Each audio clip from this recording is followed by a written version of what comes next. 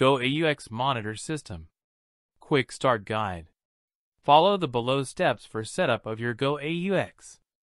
Visit www.krkmusic.com for support videos and guides. 1. Unzip the protective carry bag and remove both adjustable isolation stands and both speakers. 2. Locate and remove the knurled thumb screws from the bag pocket. 3.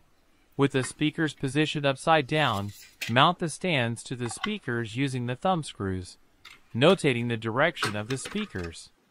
The front of the speakers should be oriented to the front of the stand if you need to angle the speakers up.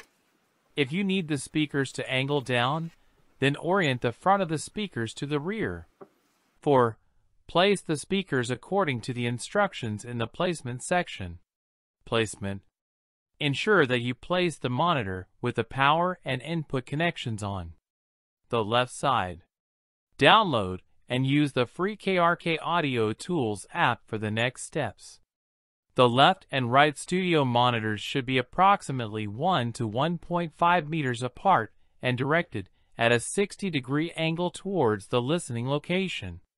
Measure the distance between the left and right studio monitors and note that the listening position is the same distance to both sides. This will form an equilateral triangle. It is important that both left and right studio monitors are level matched. The GoAux monitor series are a two-way studio monitor with a tweeter, producing high frequencies, and a woofer, producing mid and low frequencies, in one enclosure. The midpoint between the tweeter and woofer is the acoustic axis.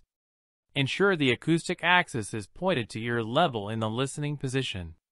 Use the tilting mechanism integrated into the isolation stands to orient the acoustic axis to the correct position. AC input. Connect the included power cable here.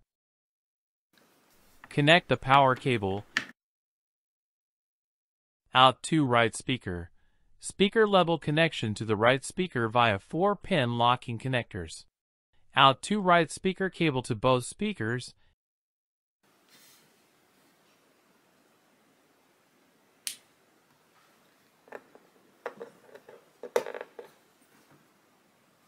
And input cables, if not using Bluetooth.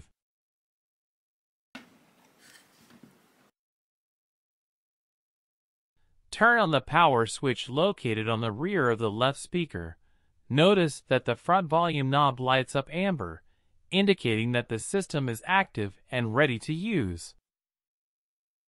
If you are using the Bluetooth option, push the Bluetooth button on the rear of the left speaker to enable pairing, and pair to your source device according to your device's instructions. Bluetooth Bluetooth input for wireless audio streaming. Connect to Bluetooth-capable audio device, computer, iPhone, Android, media player, etc. Push and hold to pair. The blue LED will blink rapidly when in pairing mode and become solid color when paired. USB audio input, USB Type-B input. Connection directly to USB computer port. When using this connection, be sure that you select it as your audio output in the sound settings of your computer or DAW. Volume, standby, multifunction knob. Turn clockwise to raise volume, and counterclockwise to reduce volume. Push twice to wake up system out of standby mode. Push and hold for 3 seconds to put system into standby mode. The LED ring will glow amber when the system is active and turn off when the system is in standby mode. Play an audio track from your source and slowly bring up the volume of the source device, mixer, audio interface, or computer to the desired listening level. Then, use the volume knob on the front of the left speaker to further adjust the level. AUX input, stereo analog input. Connect to computer, media player, or cell phone outputs.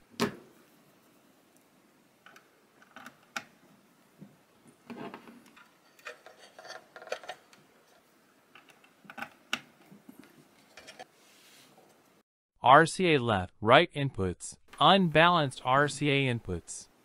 Connection to audio interfaces, DJ mixers, or consumer audio gear.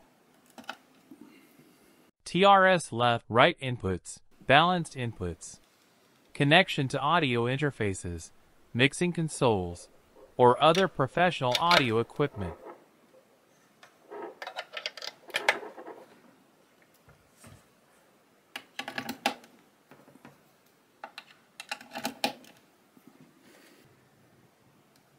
LF HFEQ adjusts the level of the low frequency band and high frequency band to help balance for your listening environment or tastes.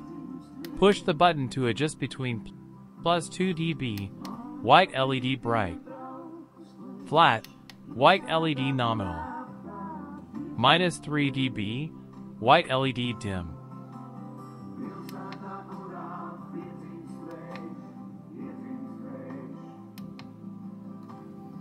Headphone output. Stereo headphone output. Disables output from the speakers when headphones are plugged in. Used for checking your work or for silent listening.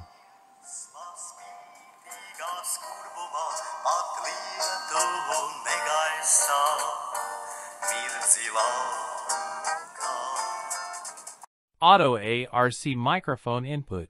Input for the Auto ARC measurement microphone. Auto ARC, Automatic Room Correction feature. If you have a GoAux 4 and want to use the Automatic Room Correction feature, Auto ARC setup, GoAux 4 only. Ensure that you have completed the placement section before beginning. 1. Attach the included microphone to the microphone input on the front left of the monitor. 2. Position the microphone at ear level in your ideal listening position. 3. Push and hold the Auto ARC button on the rear of the left speaker. 4. The speakers will produce a series of 25 tones then repeat. This may last several minutes. Do not move the microphone during this time.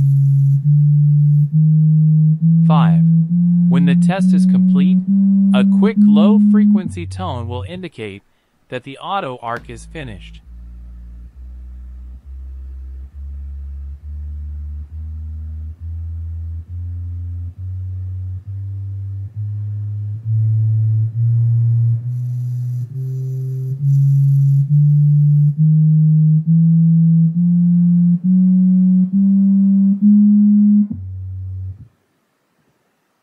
You can now disconnect and store your microphone in the carry bag.